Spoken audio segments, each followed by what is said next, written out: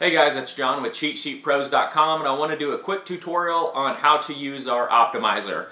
I do want to note that our optimizer isn't meant to replace RotoQL and Fantasy Cruncher. Those are very high-end optimizers that have several options and ways to spit out complex lineups. So what I wanted to do was build a web optimizer for our premium members to give them a little something extra if they don't want to pay the outrageous fees to sign up for one of the other two. So with our optimizers, you can do the basics. You can lock and exclude players.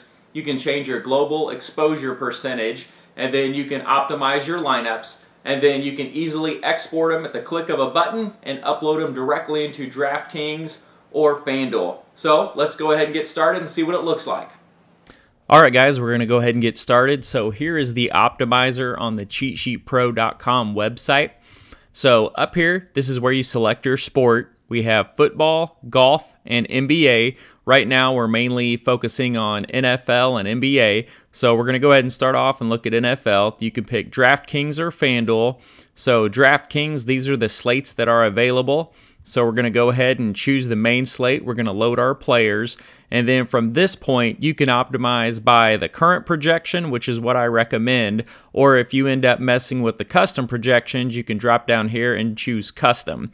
So where the custom projections are, are right here. You can make some changes. So for example, if CMC is projected at 27 points and you want to put him at 35, you can do that.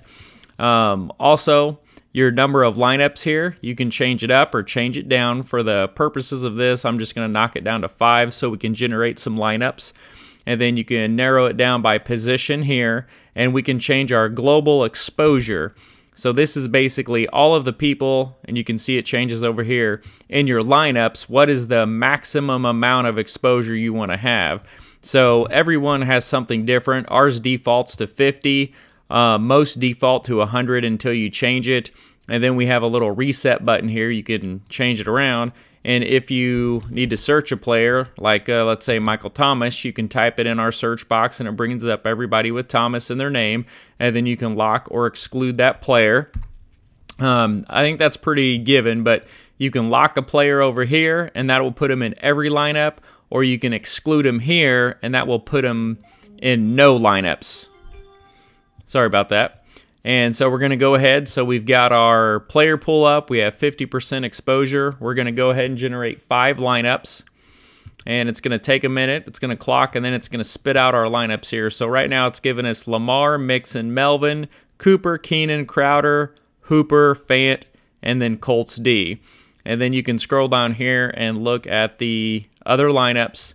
And once you get uh, a set of lineups that you like, up here we have a button right here. It says export. Once you click export, it's going to generate a CSV file that you can load directly into DraftKings. So you would just take this and save it to your desktop. And then you want to go to DraftKings and under the edit lineups, there's an upload lineups. And you can load this right in there and it will load all of the players for you. So I'm going to go ahead and throw this out.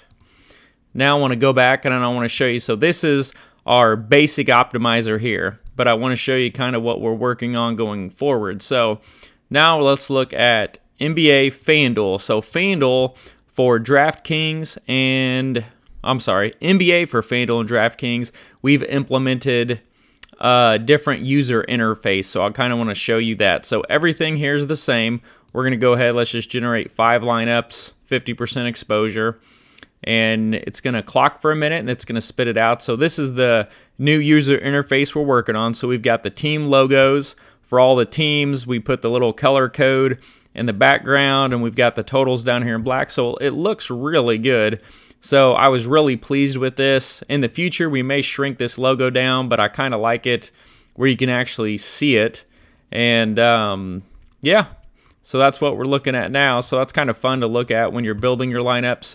Um, we haven't launched it yet for football, but that's something that we do have on the schedule. And same thing with FanDuel. When we come over here, let's go ahead and sort by value. And we're going to go ahead and it's going to generate 10 lineups.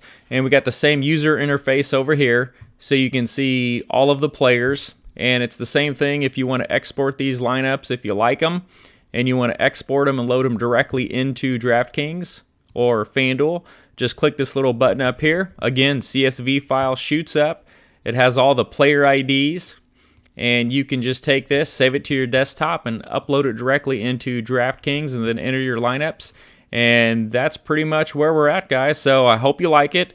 Um, we do have more features that we're working on in the future, and it is something that just keeps getting better and better. And again, we're not here to replace Fantasy Cruncher or RotoQL or some of these other high end optimizers. We just want to give people an option that's inexpensive to generate some basic lineups with some players they like and export them and upload them directly into Excel. So I hope you give us a try. Thanks, guys.